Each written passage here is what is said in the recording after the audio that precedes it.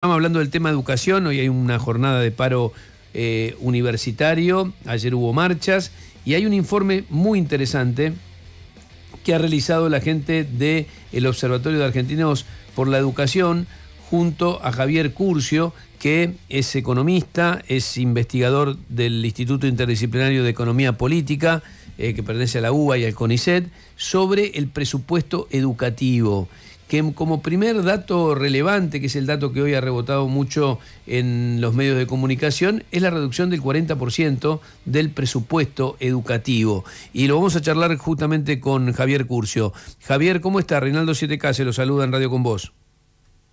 Buenos días, Reinaldo. Mucho gusto y saludos a la audiencia también. Bueno, gracias por atendernos. A ver si lo puede sintetizar eh, este trabajo que ustedes hicieron, que tiene ese número eh, eh, muy relevante, ¿no? En, el medio de la discusión sobre el financiamiento universitario aparece este número que, que impacta, 40%, un poco más, ¿no? Exacto, 40% si tomamos a lo que llamamos la Secretaría de Educación, en el orden de 44%. Exacto, 40% si, tomamos la función educativa. A, ver, a ver, a ver, porque tenemos una, se está replicando su voz, a ver si lo podemos mejorar. A ver, Javier. Javier. Hola, hola. Sí, ahora sí, teníamos un problemita técnico. A ver, ahora sí lo escuchamos. Comience otra vez, por favor. ¿40%? Orden de 40%, es 44% si consideramos a, la función educativa en su conjunto, o 40% si miramos la Secretaría de Educación o lo que hasta el año pasado era el Ministerio de Educación. Esa caída en términos reales está muy por encima del ajuste promedio que tiene la Administración Nacional. La Administración Nacional va a cerrar el año, según los supuestos del mensaje de presupuesto y, y demás, en el orden del 26, 27% de ajuste, o sea, un cuarto de Estado más chico este año respecto del año anterior. Bueno, en educación esa caída es mucho más marcada básicamente por el mayor ajuste que tuvieron las universidades, que de alguna manera parte del conflicto reinante, bueno, todo lo que de alguna manera se está cubriendo, y además por la eliminación del Fondo de Incentivo Docente, que desentiende al sistema, al, gobierno nacional de este complemento de alrededor del 10% del salario docente del que se hacen cargo las, las provincias, y eh, bueno, muestra un panorama difícil, oscuro, con, mucha dificultad de poder sostener un sendero de desarrollo sostenible en el mundo de la economía del conocimiento, de la innovación, esta desatención del gobierno nacional, en el marco del ajuste que claramente es necesario, un problema fuerte y de, difícil sostenibilidad si no apostamos al sistema educativo. Eh, y, si uno se va hacia el, el presupuesto 2025, eh, en términos del PBI, la inversión nacional en educación todavía va a ser menor, ¿no? 0,88 del Producto Bruto, cuando en 2024 fue 0,91 y en 2023 1,48. Eh, o sea que el recorte está previsto que sea mayor todavía el año que viene. Exacto, hay una leve, un leve incremento inferior al 1% si se dan los supuestos, que son supuestos excesivamente optimistas los que tiene el mensaje, por lo tanto, hasta si somos más realistas, este proyecto que estarían aprobando los legisladores sería un nuevo proyecto a la baja para el sistema educativo en términos reales, pero supongamos que se cumplen esos supuestos, que Argentina logra rebotar y crecer 5% real el año que viene, que la inflación se reduce y se desploma al 18,5 anual, que eso es lo que plantean estos supuestos, aún en ese contexto se mantendría el nivel, se mantendría en este piso mucho más bajo de financiamiento para la educación en el año que viene y recortaría en términos del producto, como el producto está creciendo mucho en ese mismo, en esas mismas hipótesis, esperamos que crezcamos 5%, este incremento inferior a ese porcentaje nos lleva a un recorte mayor de, la porción de la torta que le cabe a la educación para el año próximo y todo juega en contra de los estándares internacionales, en contra de los compromisos asumidos, en contra del piso legal del 6% de inversión en educación que tiene vigente y que además en el proyecto de ley de presupuesto se está planteando eliminar ese piso sacarnos esa obligación, una obligación que cumplimos muy poco, pero que sacarla no es la forma de solucionarlo en todo caso. Si estamos, si creemos de verdad en el capital humano, en invertir en la educación para apuntalar desarrollo sostenible, movilidad social ascendente, todos estos debates que bienvenidos se están dando en estos días, claramente no es con la motosierra y sin recursos, sino identificando por dónde hay que hacer los ajustes, por dónde tenemos que resolver los problemas y sosteniendo, invirtiendo para poder hacer de, nuevo sostenible y, reafirmando esos, esos procesos. El, el 6% que fijó la ley ¿no? del, del presupuesto para educación, del PBI, en el último año del gobierno de Alberto Fernández, ¿en cuánto se, se, se quedó?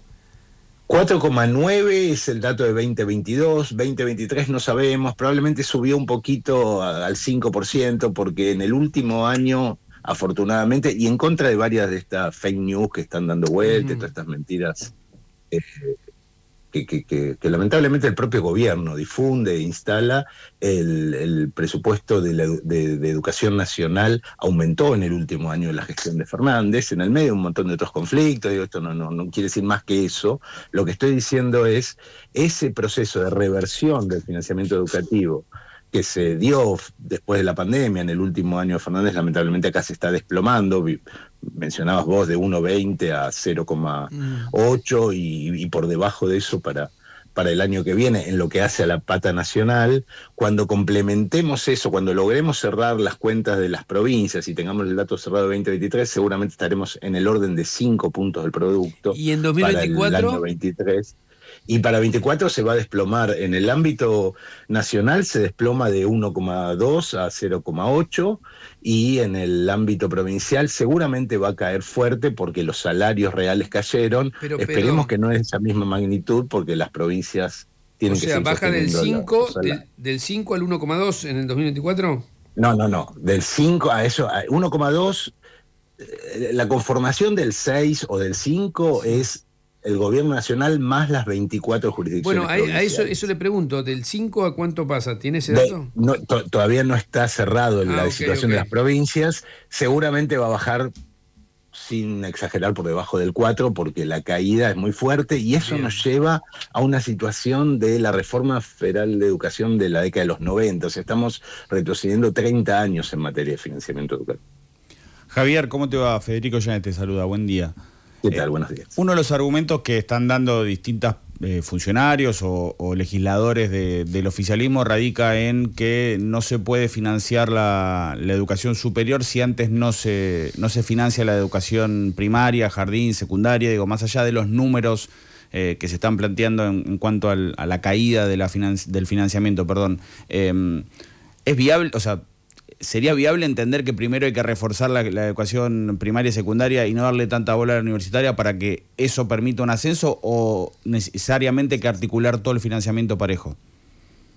Es una manta corta y estamos en una situación crítica de crisis fiscal, pero no podemos desatender a la educación superior si queremos apuntalar el desarrollo. Entonces hay que hacer sintonía fina, hay que calibrar de manera tal de racionalizar y hacer efectivamente una inversión inteligente, es el término que usa el secretario Torrendel, para ver por dónde se calibran y se asignan con mucha sensibilidad a estos recortes y que efectivamente lo que estamos planteando es un proceso contrario al que está planteando la propia administración. La administración habla de inversión inteligente, pero aplica una motosierra plana del 30% en los salarios, del 40% en el total del financiamiento, sin discriminar por dónde puede apuntalar mejores financiamientos, por dónde hay que dejar de resolver y eh, en ese sentido hay que apostar acuerdos con las provincias para ir sosteniendo el financiamiento en los niveles de educación obligatoria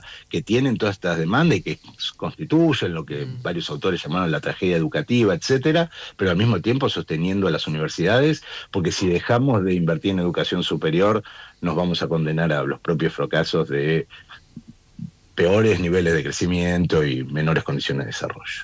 Clarísimo. Em, cualquier persona puede acceder a la información, si bien está replicada en, los medios, eh, cualquier persona puede acceder a este material. Sí, sí, es un informe, el que, el que están mencionando es un informe de Argentinos por la Educación que hicimos sintetizando un poco este esquema que, efectivamente, y en respuesta a la pregunta anterior, combina una mirada sobre los distintos sectores, ¿no? Digo, y vemos que eh, también, eh, acá no estamos hablando del financiamiento universitario, que está presente en muchos otros debates, estamos hablando del financiamiento de la educación en todos los niveles. Está disponible en el sitio web de Argentinos por la Educación como último reporte, está Bien. la página principal. Muchísimas gracias, Javier. Gracias a ustedes, buenos días. Javier Curcio, economista, investigador del Instituto Interdisciplinario de Economía Política. Eh, está buenísimo el informe porque te revela esto. Basta de zaraza. Basta de zaraza. La inversión educativa se redujo un 40% este año. Un 40% menos. Entonces, cuando vos venís y decís, no, lo que queremos es evitar los curros, los gastos en las universidades, a mí me parece perfecto, auditar las universidades. Ahora, arrancaste bajando el 40% en la inversión en educación.